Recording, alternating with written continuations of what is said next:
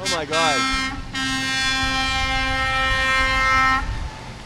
Let me ask you, just what are the policies that are really important to you? Um, I like his uh, policies on immigration.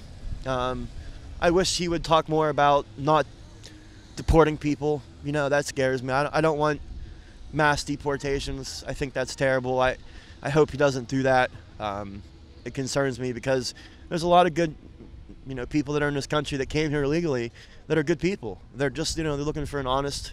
They just want to have a family and live a life, and you can't deport them for wanting that. So. Um, I think we need to build a wall and, and, and keep people that are not in our country now out.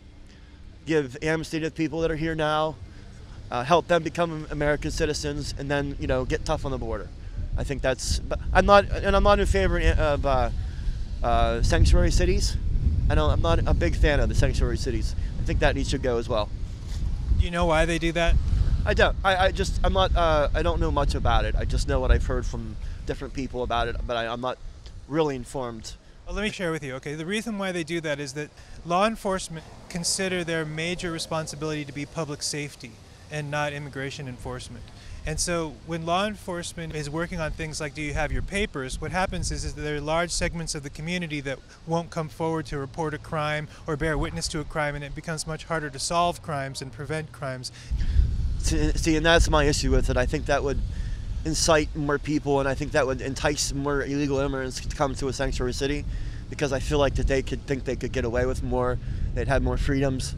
So I think if you take that away from them, um, it, it, it, instills more of a disciplinary uh, effect, and I think it'll clean up the streets a little bit better. Um, so, yeah. let me just share with you what law enforcement officials tell me.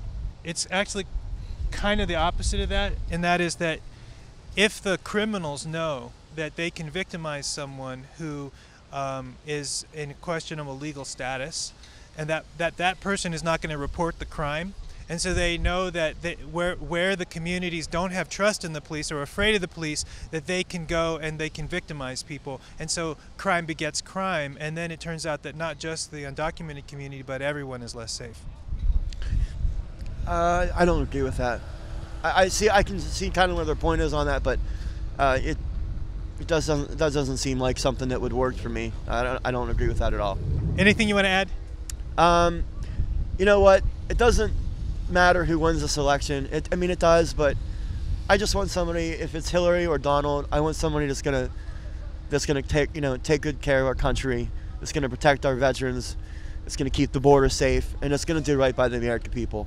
You know, so um, you know, I think I wish it was less ugly. You know, I have a real problem with that.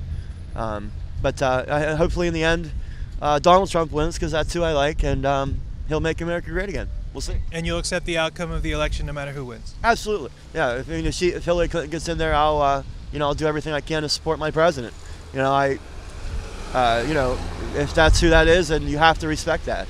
Uh, you know, and I don't. I wasn't as far as Donald Trump saying that he wasn't sure what he was going to do, concede at the end.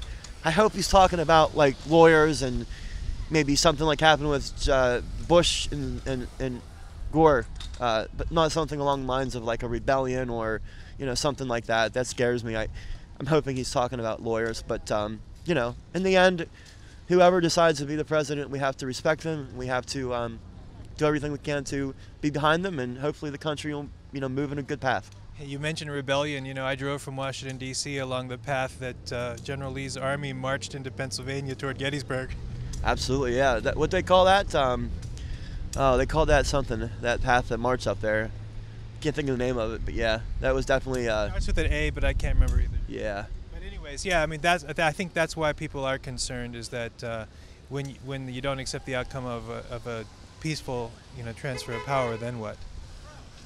Uh, scares people, you know, and I don't know how many. It might have even uh, turned off some Republican voters, you know, because people don't want to see anarchy and, and, and, and crime and craziness on our streets. You know, they, they want to see, you know, jobs come back and they want to see the border be secured.